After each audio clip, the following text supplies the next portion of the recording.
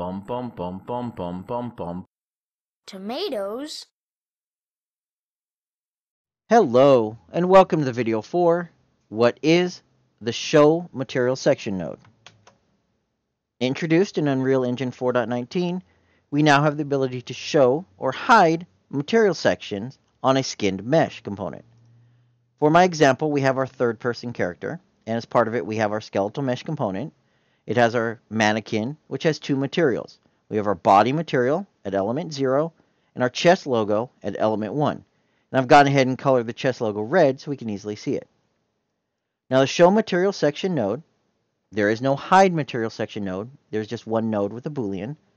Is going to take in our target. In this case, it's going to be my skeletal mesh from my character. The ID, again, I mentioned we had two different material IDs here. So in this case, I'm going to go with ID 0 of the body. A boolean if you're going to show it or hide it. Show it, check it, false, it will hide it.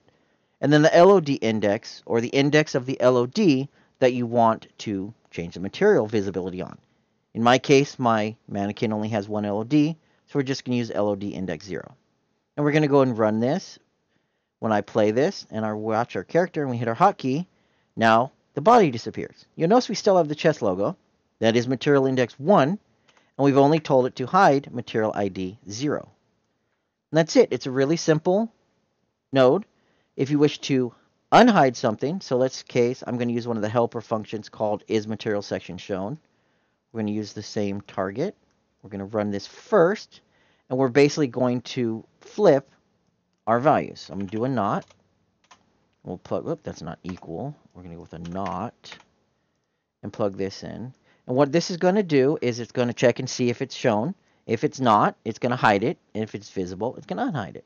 So we can hit the key, and you'll notice my chest, my body itself, can toggle visibility. And that's it. It's a really simple node. It was introduced in Unreal Engine 4.19. Again, it takes in the skinned mesh or skeletal mesh component that you're going to be working with the ID or the index of the material, if it's shown or hidden, and then the LOD index.